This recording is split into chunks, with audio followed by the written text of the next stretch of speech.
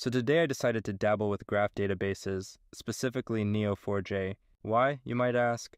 Because I think it's useful, and it's a necessary stepping stone for my master plan to build an agent with a memory. In this video, I am going to show you three aspects of graph databases that are unique. First of all, they are intuitive. You'll see why in just a second. Second, they are easy to use, given you use them in the right context. Lastly, it's maybe the most visual database. 1. Intuition. Graph databases allow you to store information that grow organically, as opposed to a SQL database where you have to predefine the data format and stick to it Whereas back in the graph land, you can just decide to connect a piece of data to existing data and it doesn't break anything.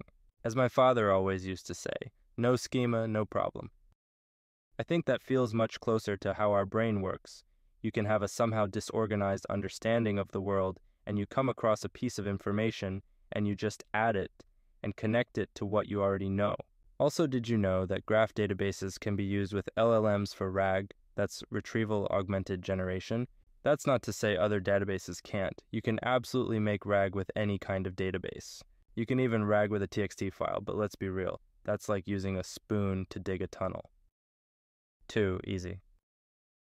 Speaking of right tool for the job, graph databases give a bunch of tools to measure different qualities of a graph, like shortest paths, all paths between nodes, communities, important nodes, connector nodes, ranking of nodes, and most importantly, visualization. 3. Visual. What better way to illustrate how intuitive this can be than to show you a social network? Now, if you were to store a social network in a SQL database and wanted to get rich structural information about it, you can, but it's just not the right tool. So in this example, I mapped out the key AI players and influencers of 2024. If I were to verbally describe all of this, it would take a long time and it still wouldn't be as clear as this. Now that we have this database, let's talk about extracting some information out of it. One thing I have to mention now is this. This data came from Wikipedia, and I used AI to parse out all the information. Both the data source and the collection method introduced some quirks into the database. For example, Donald Trump, Barack Obama, are some of the politicians in the database that I didn't think belonged there. However, it turns out that billionaires either support or invest into politicians, or sometimes oppose them. And these politicians show up time and again. Next, billionaires end up being the most important. I think it makes sense because of the money and influence they have on everyone.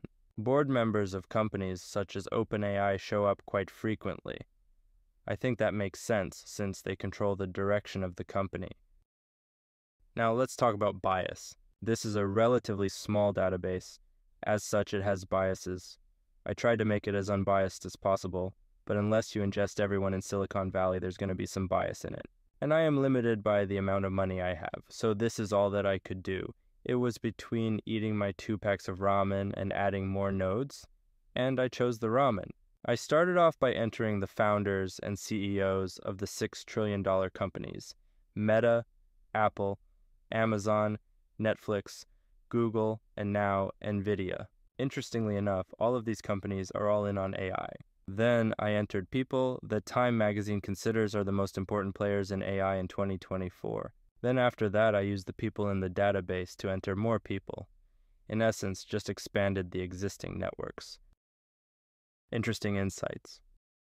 So, the important types of people that appear in the list are essentially billionaires, founders, investors, politicians, CEOs, board members, researchers, engineers, rarely sometimes, management people. Next, I wanted to group people into different clusters and found interesting groupings. Because this is not just graph database, it's actually a full-blown conspiracy theory generator.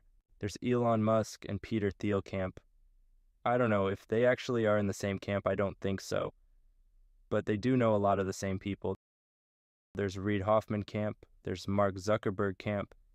Marc Andreessen camp. Sergey Brin and Larry Page camp. Science camp. This one is interesting. It would be interesting to dig deeper just within this network. Bill Gates camp, Sam Altman camp, OpenAI camp, Netflix camp, East Coast camp. Again, kind of interesting to see people like Alan Greenspan, Janet Yellen, Ben Bernanke, Winklevosses, and Larry Summers, Apple camp, Jeff Bezos camp, Demis Hassabis camp, NVIDIA and AMD camp.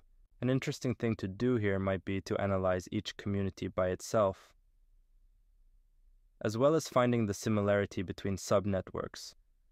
For example, how similar is OpenAI network to Sam Altman network? It should be more similar than OpenAI network and Mark Zuckerberg camp. Now let's play a game. It's called WWW or Who Would Win, not to be confused with World Wide Web or WWE. This is essentially a fantasy football for nerds. Basically, we match two people and see who would win, according to the graph database. The idea is pitting influential tech figures against each other based on their graph ranking, as if there's a secret tech gladiator arena.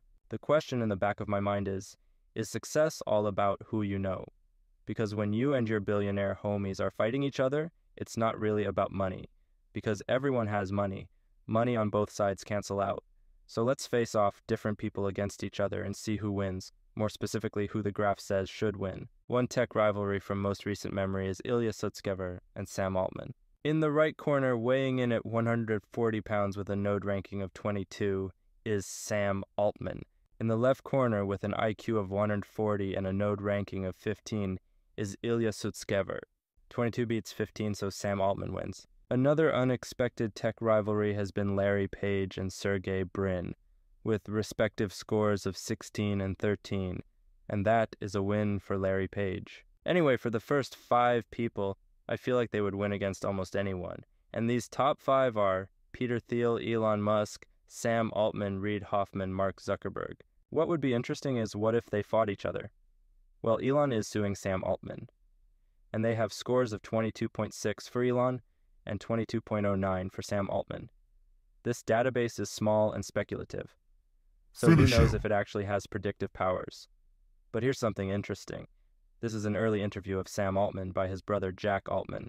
Here he details how he thinks about influence and favors.